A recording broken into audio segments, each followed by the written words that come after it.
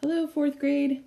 All right, so I've been teaming up with Miss G, learning how to use this new app, and so far I really like it, but bear with me, I'm still learning, okay? Yes, I know, Mrs. Connor, your teacher, actually learned something new.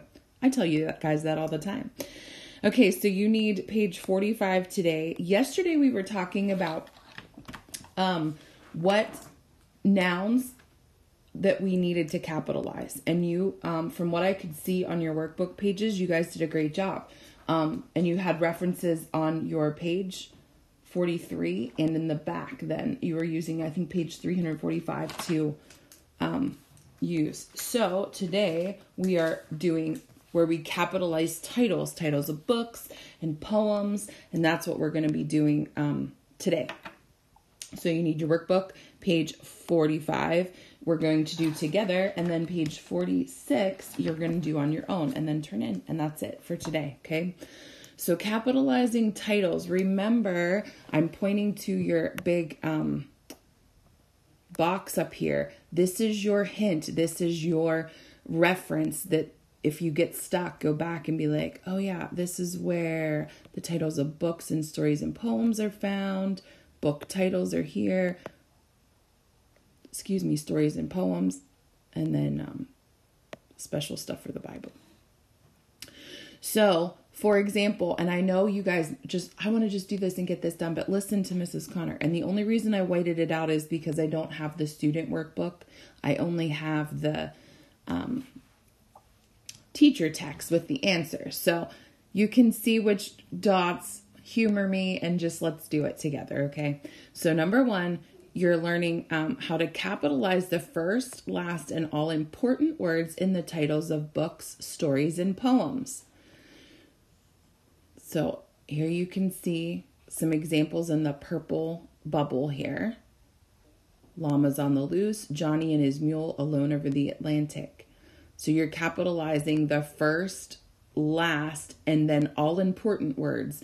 Now, on and the don't need capitalized, but over here you'll notice his mule because he's talking about specific person, Johnny. Okay. Number two, book titles should be underlined when handwritten or put in italics, which is like um, slanted writing or slanted font um, when they're published. Okay, so those are those examples. And then number three, you're using quotation marks around titles of stories or poems.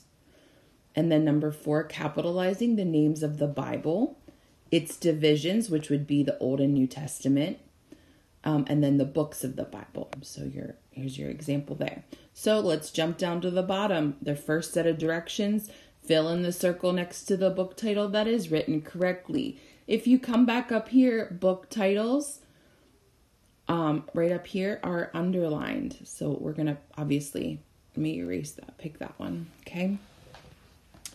Number two is not underlined, but it is in what? Italics. So we're going to mark that one. Number three, you have to fill in the circle next to the story title that is written correctly.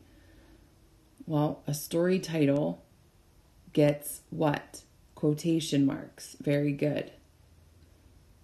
And here's the one that's quotation marks, doesn't say underlined. Okay, and then fill in the circle next to the poem title. Poems get just quotation marks. It doesn't say to underline or use um, italics. So those ones are pretty self explanatory. Okay, then at the bottom, we're writing the book, poem, or story correctly, meaning capital letter, and then does it need underline? Does it need quotation marks? Well, a book gets underlined. So there's our book, Mountain Born it's underlined, and both words are capitalized. Okay. The next one's a poem. It gets quotation marks. Oh, I underdid. I, excuse me. I accidentally under took off two. That's okay. A story gets quotation marks as well. A book gets underlined. If I'm going too fast, just pause the video. No worries. The next one's a story, it just gets quotation marks, and a poem gets quotation marks. Pretty easy. Now, just one reminder before we go you can use this up here, this reference, when you do page 46. not terrible, okay? Because it's independent practice, and then you guys can take pictures of these and send them in when you're done. And that's it for today, guys. Take care.